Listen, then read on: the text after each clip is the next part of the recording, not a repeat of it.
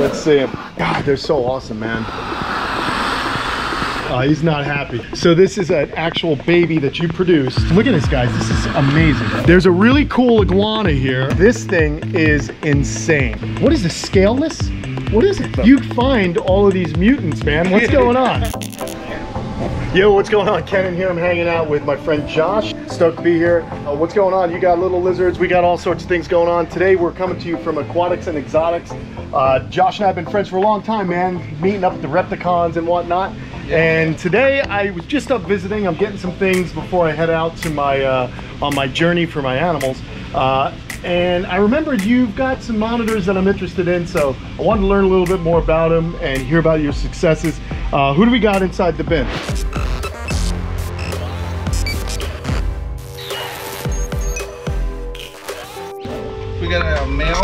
Cape Banded White Throat monitor. All right. No way. Big boy. And uh, this guy's a little rambunctious, is that right? Oh yeah, Let's see him. but God, they're so awesome, man. Oh, he's not happy. Very cool. Now, he did give you a pretty good gash earlier, so we'll go ahead and let you little get down. But that's an awesome lizard, man. And now, normally these guys um, are out back. But when did you start getting into the Cape monitors? I'd say about four years ago, me and a friend, uh, we uh, taken a liking to him, and he produced them before, and I ended up with a good size, uh, you know, breeding group of them. Gotcha. What's the hardest thing about keeping these guys, man? Like, what am I going to need to know? Are they similar to most other like Savannah type monitors, or what's the difference in care?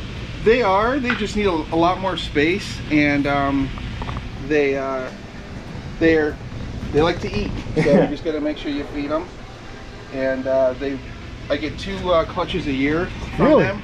So they're multi. They do multi clutches. When Yeah. do those clutches come out usually? Um, I'll have a clutch uh, a clutch hatch in the beginning of spring, and then I'll have a, um, a clutch hatch in around November. No way. That's so cool, yeah, man. It's, it's weird. Um, so how big do the females get? Are the males just take off? The males are the biggers of the bigger of the. Uh, They are, huh? And I can show you one of the babies. Oh yeah, let's check that out too. Here's one of the. Here's what they start out like. Come on over, man. Here's what they start out like. Yeah, I got it. No worries. Thanks, dude.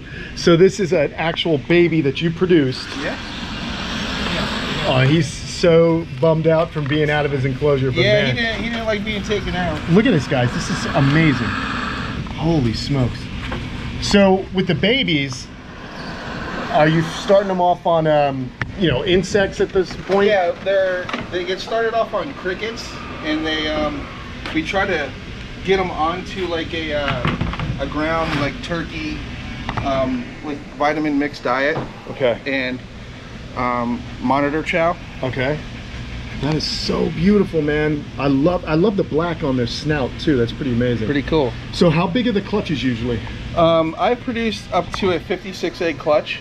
Um, Really?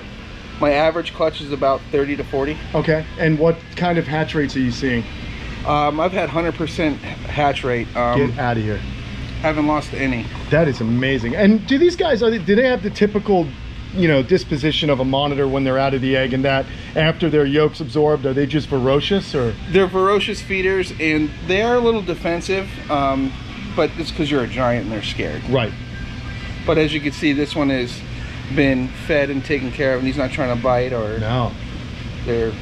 What's really beautiful. cool is they once they really get accustomed to you, they'll start trying to scent you with their chin. They start rubbing their chin to get a scent on you. Uh, so do they have any kind of scent glands or is it just a way that they mark the because my Cuban iguanas will rub against me as well and that's what I figure they're doing. Yeah, you know? that's.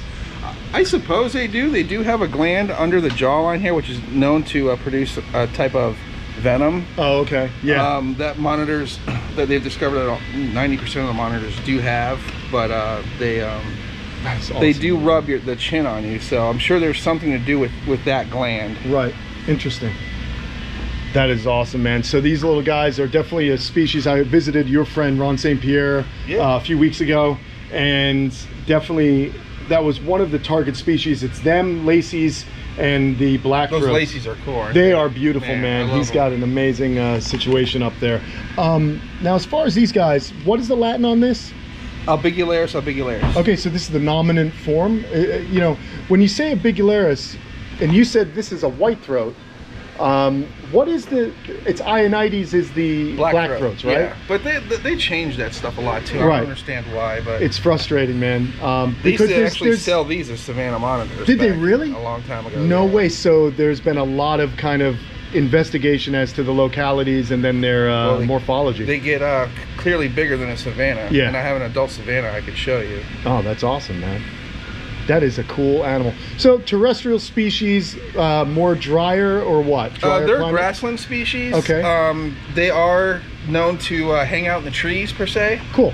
Um, mine, if there's anything, I, I stack like uh, um, I do bricks and um, pieces of like wood, and I stack it up, So and they'll go right to the top, They and will. they'll, they'll actually climb to the top of their enclosure and just hang out. And that's most of the something else. You know what? That's something else that Ron noticed too. Like he's like, dude, everyone says the terrestrial, but his are all hanging out high on the shelves. Oh, It kind of makes sense if you're a grassland animal, right?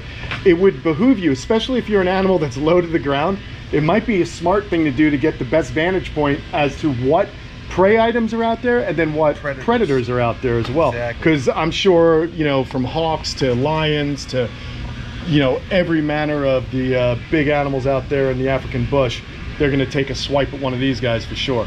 These guys will eat snakes as well, right? They eat snakes. They they're basically they'll eat anything that fits from eggs, snakes, Yeah. small mammals, birds. Nice, so rad, Um, man.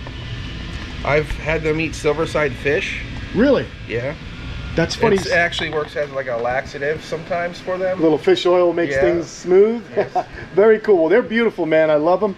And uh, gosh, I don't know how many of those babies you got left, but I may need to. Uh, I don't know. We may need to talk to Josh. What do you guys think? Should I get involved in some Cape monitors and build a really cool enclosure for them? That would be fun to see, huh? Yeah. Uh, all right, man. Well, there's another animal I want to show off here that, that caught my eye while I was hanging out. This is kind of an impromptu video, by the way. He did not expect me to show up with camera in hand. I'm kind of a pain in the neck. There's a really cool iguana here, and I want to hear this animal story because this thing is insane, bro. Like, look at this guy. You guys are going to dig this. Check it out. Is that the Savannah? Cool. Well, I gotta stay focused. There's a Savannah monitor over there, and then there's this bizarre. What is this? Scaleless? What is it? No, it has small scales. Um, this animal was caught here in Florida. Shut the front door. This thing was really caught in the wild in Florida. In the wild. Where about?